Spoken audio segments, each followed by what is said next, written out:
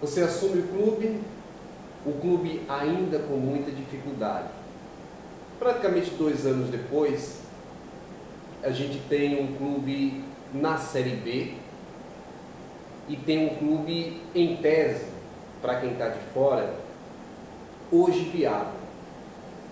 O CSA passou a ser uma instituição viável ou a administração de Rafael Tenório tornou essa instituição viável?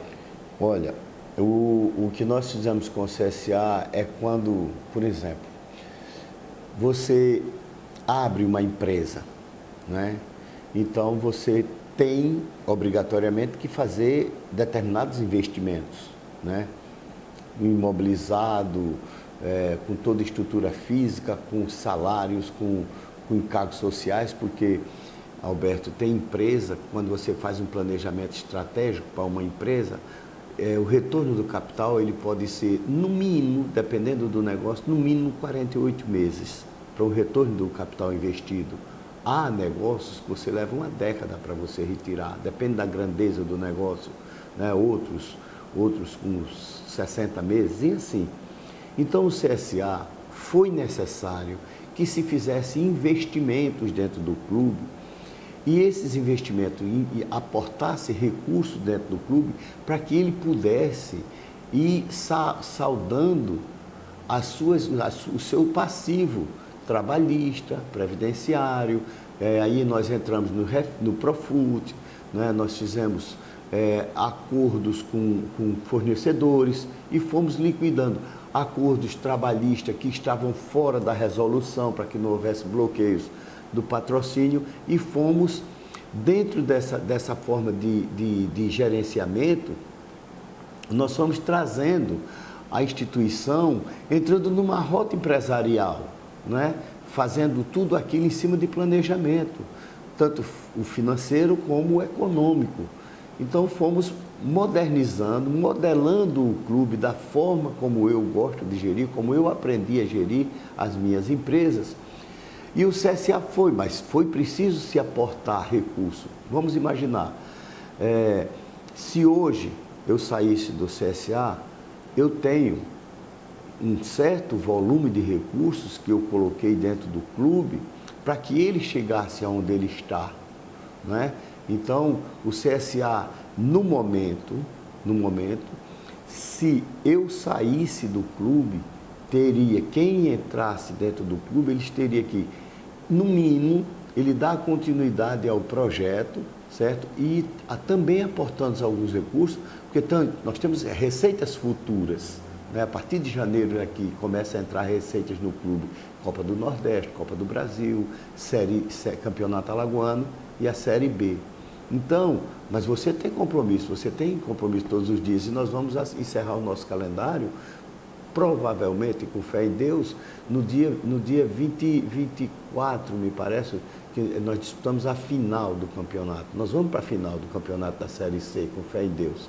Então eu encerro o calendário, depois eu tenho indenização de funcionário, uma série de coisas que tem, uma empresa tem, isso normal, vem 13 terceiro salário, vem, vem é, o, o, e Previdência Social, do 13 terceiro, do, do salário de novembro, de dezembro, então não para de ter dívida. Mas que o CSA, hoje, na situação que ele se encontra, em mais dois anos, o CSA ele estará com o seu passivo trabalhista liquidado, com o passivo que o CSA tem, as pendências cível terão, serão liquidadas e, quiçá, também previdenciário e tributário. O CSA hoje anda sem as pernas de Rafael Tenório ou esse choque que você deu, essa criação de uma visão empresarial ainda torna o clube e a instituição muito dependente do que você faz ou de alguma pessoa que chegue com essa mesma condição. Por exemplo, é, nós ainda faltamos aí quatro meses para findar o exercício, né? Setembro, outubro, novembro e dezembro. Nós temos folhas para pagar dos nossos salários, dos nossos, dos nossos funcionários. Hoje o CSA tem em torno de quase 60 colaboradores, né? Jogadores, comissão técnica, sócio torcedor, perdão, inclusive da mais que 60.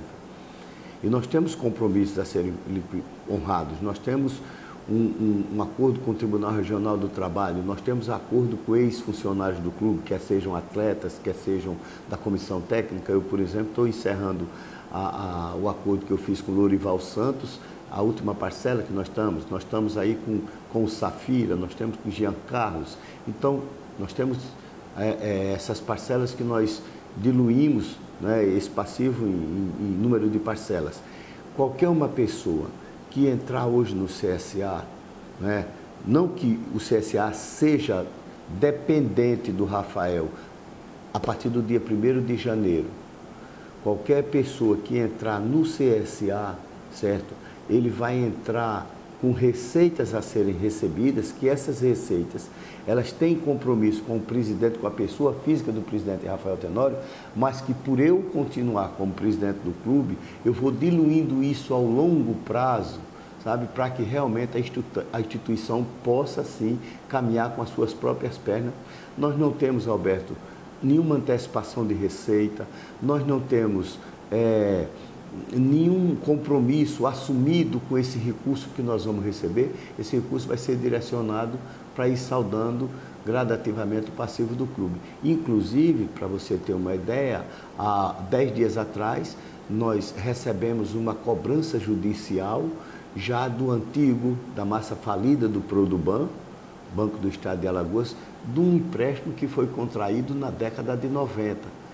E também temos honorários a serem pagos da, pelos, para, o, para os procuradores geral do, do, do Estado, que esses, esses honorários são inegociáveis e você tem que pagar de uma vez. E a, e a dívida que nós temos com o Produban, nós vamos entrar no parcelamento para ser liquidados eles todos esses compromissos.